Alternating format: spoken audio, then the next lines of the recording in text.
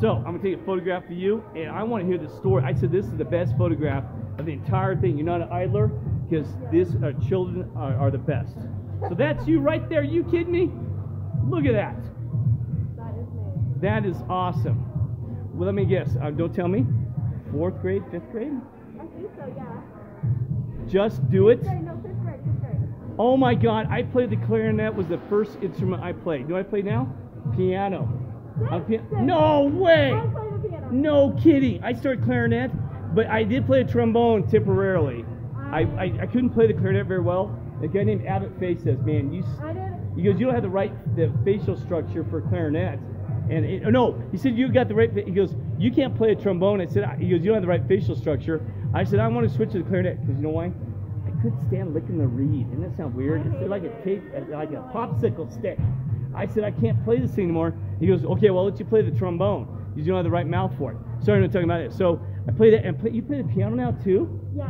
Oh my God! Isn't that amazing? And then I quit, and then Yeah? I'm in choir right now. I hadn't played now in 25 playing. years and started playing the piano.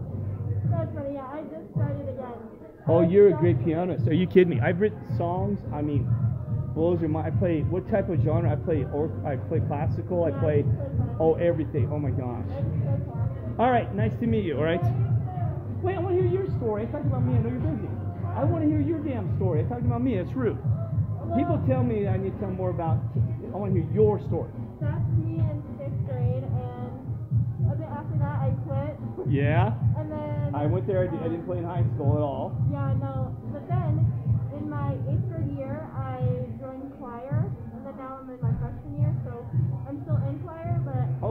singer too. Oh my gosh, I can sing. But at home, I just like play the piano for fun. Keep on playing that piano.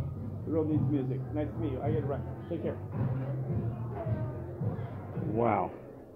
Empathy, true story. Idlers.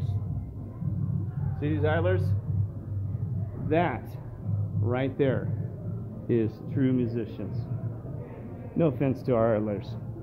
We got them all up here. Have they done anything for this world? Have they told you about God? Have they done anything about the vaccine? The virus?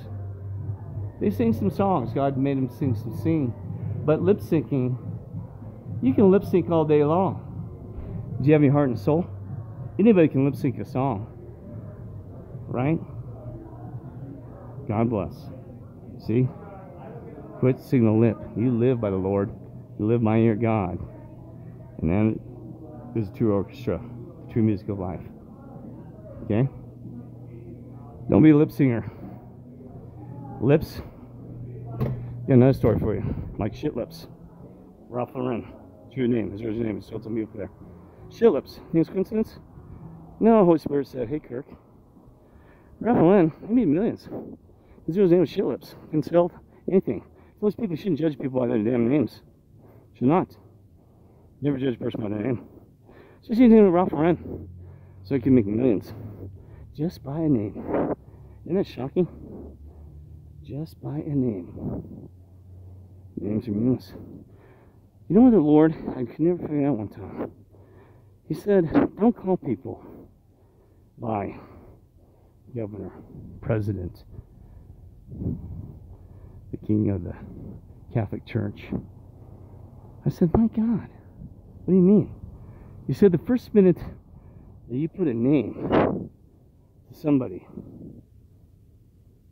a title, title, you're immediately below them. And I said, how am I going to run for governor? If I say I'm governor of Colorado. See what I'm saying? Think about it. I'm James. Your name is, well, whatever it is. Look at the title. First minute you title somebody, you assume that word above God, or the Lord. And that word, you immediately put yourself below them. Don't forget, child God. And uh, those are two words. Okay? Love you all. God bless.